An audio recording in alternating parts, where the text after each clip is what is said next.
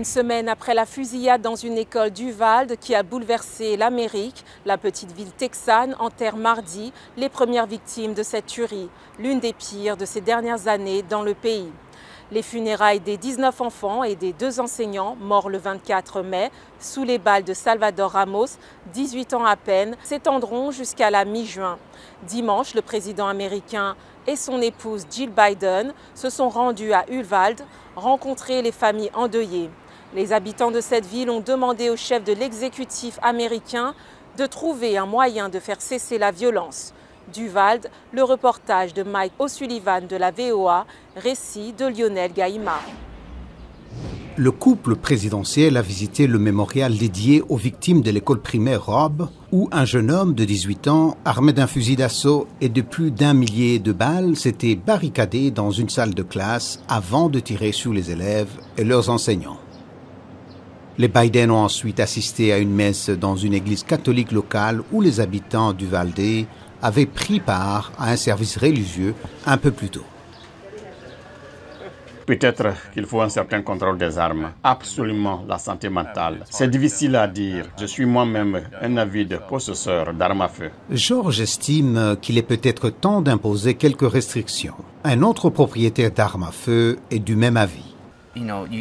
Vous n'êtes pas en sécurité à l'école. Ma femme est enseignante au lycée et je crains pour elle, vous voyez. Vous ne savez plus ce qui va advenir. Si cela arrive ici, cela peut arriver n'importe où. Un autre membre de l'Église dit tenir sa force de sa foi, mais aimerait que les responsables gouvernementaux agissent. Nous plaidons auprès d'eux et de nos représentants pour qu'ils écoutent les gens, les gens qui perdent leur bébé. C'est très important que nous changions les lois. Pendant ce temps, la National Rifle Association, le puissant lobby des partisans du port d'armes, concluait sa convention nationale à Houston. Le groupe qui s'oppose à toute restriction sur les fusils d'assaut est politiquement très influent dans les États comme le Texas. Alors que le couple présidentiel américain terminait sa visite à Uvalde, les habitants continuaient de rendre hommage aux victimes de la fusillade de mardi, chantant et déposant des cierges, des fleurs et des messages écrits en leur mémoire.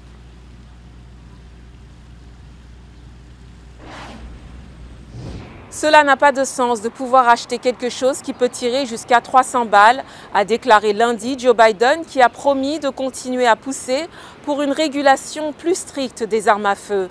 Mais passer des mots aux actes sera difficile. L'étroite majorité de son parti au Congrès ne lui permet pas d'adopter seul une telle législation. Mardi, le président a promis qu'il irait à la rencontre des élus républicains à ce sujet. Tout texte nécessitera un compromis avec ses conservateurs, traditionnellement plus réticents à légiférer sur le sujet, afin d'obtenir la majorité qualifiée nécessaire.